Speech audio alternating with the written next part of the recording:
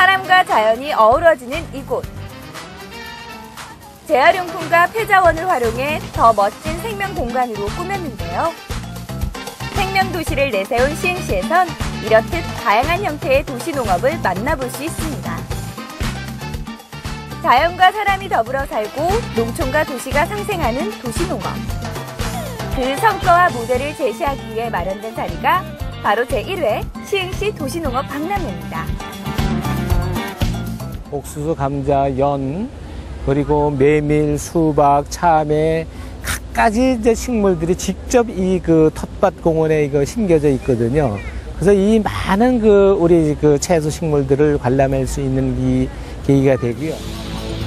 이번 박람회의 가장 큰 특징. 바로 도시생활 속에서 실현할 수 있는 실제 모델들을 보여주는 것인데요. 옥상 텃밭, 주말 농장, 밭길 체험장 등 유형별로 도시 텃밭을 조성했는데요. 도시 농업을 막연히 힘들게만 생각했던 사람들에게 알찬 정보를 제공합니다. 아, 너무 좋은 것 같아요. 아이들한테 정, 막 이런 거 보여주기 책으로만 보여줬는데 실제로 와서 보니까 너무 좋은 것 같아요. 그렇지 않아도 지금 가면서 카톡에다가 글 올려서 엄마들한테 쫙 뿌리려고 그랬거든요. 너무 좋다고. 관람객이 직접 체험할 수 있는 공간이 마련돼 즐거움을 더했는데요. 용두레 맛두레 등의 이용법을 알아보며 전통 농경 문화 체험도 해보고 친환경 논학교와 밭학교에선 모내기와 씨 뿌리기 등 도시 생활에서 좀처럼 접할 수 없는 농촌 체험이 가능합니다. 농, 농사 지을 때 쓰였던 건데 이거 직접 해보니까 힘들고 재밌었어요. 거리 곳곳이 알찬 텃밭으로 꾸며진 모습이 이색적인데요. 이곳은 시흥시 7개 아파트 단지가 참여해 조성한 생명의 뜰 전시장입니다. 아파트와 학교, 복지관 등에서 활용할 수 있는 농업 형태를 보여주고 있는데요. 거리 짜투리 공간에 농작물을 심어 결실의 기쁨도 맛보고 지나는 이들의 눈도 즐겁게 해주는 걷고 싶은 거리. 전국 거리 텃밭 아이디어 공모전 입상작들도 한눈에 볼 수 있습니다. 도심 한가운데에서도 이렇게 농작물이 싱싱하게 자랄 수 있다는 사실이 신기합니다. 주말 농장을 찾아 먼 길을 떠나시나요? 우리 집 앞 농장은 어떨까요? 박람회에선 아파트에서 활용할 수 있는 도시농업 모델도 제시했는데요.